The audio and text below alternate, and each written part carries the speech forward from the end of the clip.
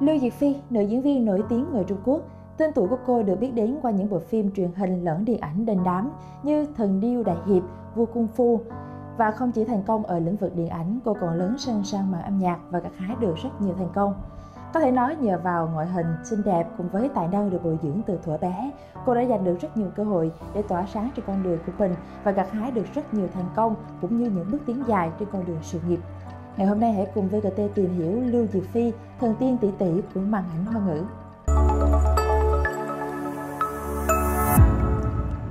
Thiên tài nhí Lưu Diệc Phi bộc lộ tài năng nghệ thuật từ thời thơ ấu. Lưu Diệc Phi tên khai sinh là An Phong, cô sinh vào tháng 8 năm 1987 tại Vũ Hán, Trung Quốc. Năm lên 4 tuổi, sau cuộc hôn nhân đổ vỡ của cha mẹ thì cô chuyển tới sống với gia đình nhà ngoại và đổi tên thành Lưu Tây Mỹ Tử theo họ mẹ.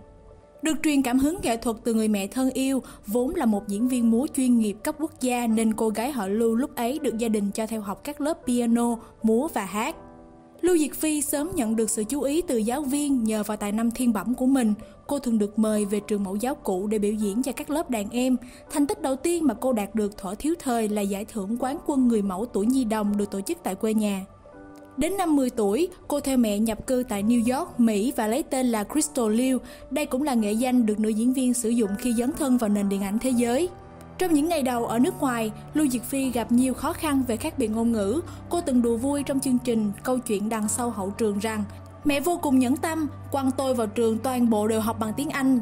Là một người ít nói, sống khép kín và gặp rào cản về ngôn ngữ, cô gái trẻ lúc ấy đã gặp không ít khó khăn trong vấn đề giao lưu và kết bạn. Tuy nhiên, nhờ sự chăm chỉ và chịu khó dành thời gian bồi dưỡng thêm khả năng tiếng Anh nên cô dần hòa đồng hơn với bạn học, trở thành một trong những tiền bối rất được yêu quý và là tấm gương sáng để bạn bè noi theo.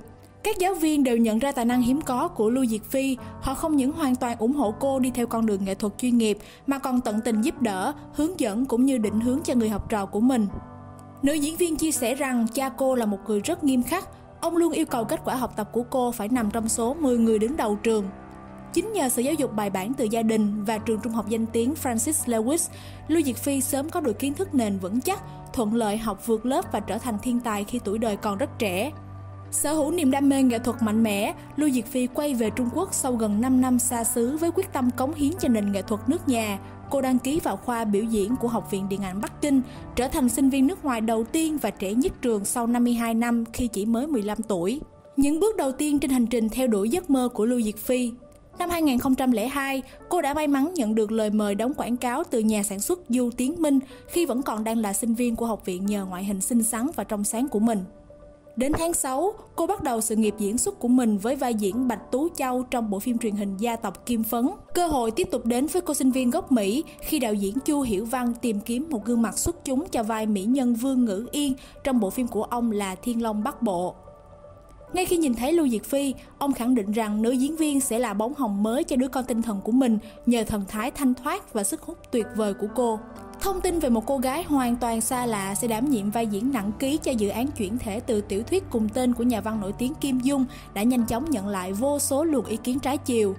Cái tên Lưu Diệc Phi ngay lập tức trở thành đề tài nóng trên các mặt báo chỉ sau một đêm. Cư dân mạng tỏ ra nghi ngờ khả năng diễn xuất của cô khi tuổi đời còn quá trẻ. Thật may vì đạo diễn Chu Hiểu Văn vốn là con người mạo hiểm, ông đã giữ vững quyết định của mình và dành cơ hội cho cô sinh viên tiềm năng của Học viện Điện ảnh. Có thể nói sự quyết đoán của vị đạo diễn nổi tiếng chính là lời lý giải cho thành công ngoài sức tưởng tượng của bộ phim, thậm chí chính tác giả của cuốn tiểu thuyết là nhà văn Kim Dung cũng ưu ái dành lời khen cho cô nàng. Diễn xuất và hình tượng hoàn toàn phù hợp với nhân vật Vương Ngữ Yên của Lưu diệt Phi được giới phê bình đánh giá cao. Có thể nói Thiên Long Bắc Bộ chính là bệ phóng vững chắc đầu tiên cho nữ diễn viên tiếp cận gần hơn đến khán giả trong nước. Tiếp nối sự khởi đầu thành công, cô tích cực tham gia các tác phẩm điện ảnh lẫn truyền hình khác như Love in May, Tình yêu đại doanh gia và Tiên kiếm kỳ hiệp. Sau khi tốt nghiệp Học viện Điện ảnh loại xuất sắc vào năm 2006, nữ diễn viên mới thật sự có thêm nhiều cơ hội để tỏa sáng trên con đường diễn xuất chuyên nghiệp. Cô được đạo diễn Trương Kỷ Trung mời vào vai tiểu long nữ trong bộ phim Thần Điêu Đại Hiệp, đóng cặp cùng nam thần Huỳnh Hiểu Minh, đây chính là vai diễn để đời của nữ diễn viên, đưa cô lên hàng sao hạng A của Trung Quốc và được khán giả yêu quý dành tặng cho mỹ danh thần tiên tỷ tỷ đình đám một thời. Để tiếp nối thành công rực rỡ trước đó, Lưu Diệc Phi tiếp tục nhận lời quay Thiếu nữ u hồn và vào vai chính Nhiếp Tiểu Thiến. Bộ phim được chuyển thể từ tiểu thuyết Liêu trai chí dị của nhà văn Bồ Tùng Linh và được sản xuất bởi đạo diễn Hồng Kông nổi tiếng Diệp Vĩ Tính. Lưu Diệc Phi còn rất thành công khi hóa thân vào các nhân vật trong những bộ phim như Khổng Tước Đài, Dạ Khổng Tước, Hóa ra anh vẫn ở đây, Tam sinh tam thế thập lý đào hoa bản điện ảnh. Bên cạnh các hoạt động tích cực trong lĩnh vực điện ảnh, Lưu Diệc Phi còn khá thành công ở mảng âm nhạc và thời trang. Năm 2005, cô ký hợp đồng với Sony Music Entertainment của Nhật Bản, được đào tạo bài bản về thanh nhạc và vũ đạo trong vòng một năm tại xứ sở Hoa Anh Đào. Một năm sau, cô ra mắt đĩa đơn đầu tay mang tên Đêm Muộn cùng một album với hai phiên bản gồm tiếng quan thoại và tiếng Nhật, đạt doanh số bán ra lên đến 600.000 bản tại Trung Quốc. Ba năm sau đó, nữ minh tinh thuận lợi ký hợp đồng với công ty William Morris Agency, một trong ba ông lớn đứng đầu ngành giải trí tại Mỹ. Lưu Diệc Phi chính thức về cùng nhà với Trương Tử Di và rất nhiều các ngôi sao Âu Mỹ đình đám khác như Mel Gibson, Halle Berry và Julia Roberts. Ở lĩnh vực thời trang, Lưu Diệc Phi cũng có chỗ đứng nhất định trong giới người mẫu. Cô thường xuyên được các tạp chí nổi tiếng chọn mặt gửi vàng. Nổi bật nhất là việc xuất hiện trên các trang bìa danh tiếng thuộc ngũ đại tạp chí là Harper's Bazaar, Elle, Marie Claire và Cosmopolitan. Sự nổi tiếng mà Lưu Diệc Phi có được phần lớn nhờ vào sự nâng đỡ của cha nuôi Trần Kim Phi, người đã mang lại những hợp đồng đóng phim, quảng cáo và là điểm tựa giúp cô mở rộng các mối quan hệ với người trong ngành. Ông luôn là người đứng sau theo sát, giúp đỡ Lưu Diệc Phi trong từng hoạt động và thậm chí còn đứng ra bảo vệ cô trước các tin đồn xấu lẫn búa rìu dư luận. Có thể nói Lưu Diệc Phi là một trong những ngôi sao có con đường hoạt động nghệ thuật vô cùng thuận lợi trong giới showbiz đầy cạnh tranh khốc liệt của Trung Quốc. Và năm 2008 có thể nói là bước ngoặt đối với nữ diễn viên khi cô tham gia phim Vua Cung Phu cùng với nghệ sĩ Thành Long, được đạo diễn bởi nhà sản xuất phim hoạt hình Vua Sư Tử lượng danh nổi tiếng của hãng Walt Disney. Và đây là bộ phim đầu tiên ở nước ngoài mà cô đảm nhiệm. Con đường trải hoa hồng vươn ra làng điện ảnh thế giới. Chính tác phẩm điện ảnh Vua Cung Phu này đã giúp cho con đường sự nghiệp của cô vươn tầm thế giới, ngang hàng với các minh tinh màn bạc nổi tiếng của Hollywood như Trương Tử Di, Phạm Băng Băng, Châu Tấn. Nhờ thiện nữ u hồn, Lưu Diệc Phi đã ẩm về cho mình giải nữ diễn viên có sức hút nhất do Hiệp hội các nhà quay phim Hồng Kông bình chọn. Đây được coi là bước mở đầu cho hàng loạt các giải thưởng lớn về sau của cô. Dù đã có được sự nổi tiếng và gia tài phim ảnh khá đồ sộ, Lưu Diệc Phi vẫn không ngừng nỗ lực hoàn thiện bản thân qua các sản phẩm đòi hỏi khả năng diễn xuất phức tạp hơn nhằm thoát khỏi cái bóng thần tiên tỷ tỷ trong sáng ngày nào. Cô tiếp tục giành được các giải thưởng danh giá như giải nữ diễn viên xuất sắc nhất cho bộ phim Động Tước Đài trong Liên hoan phim quốc tế Macau, giải nữ diễn viên nổi tiếng nhất với sinh viên đại học cho vai Elsa trong Dạ Khổng Tước và Tô Cẩm Vận trong Hóa ra anh vẫn ở đây tại Liên hoan phim đại học Quảng Châu năm 2016. Vai diễn Bạch Thiển trong bộ phim điện ảnh nổi tiếng Tam sinh tam thế Thập lý đào hoa cũng mang lại cho cô giải nữ diễn viên xuất sắc nhất trong bản điện ảnh tại Liên hoan phim Tokyo một năm sau đó. Bên cạnh sự mến mộ từ khán giả, Lưu Diệc Phi cũng phải nhận không ít những lời chê bai và nghi ngờ về khả năng diễn xuất của mình.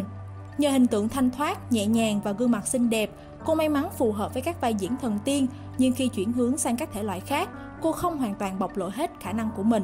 Nhiều người cho rằng nữ diễn viên họ Lưu cần không ngừng trao dồi và đa dạng hóa lối diễn xuất mới có thể lột bỏ đi cái mát tiên nữ đã theo cô suốt một thời gian dài.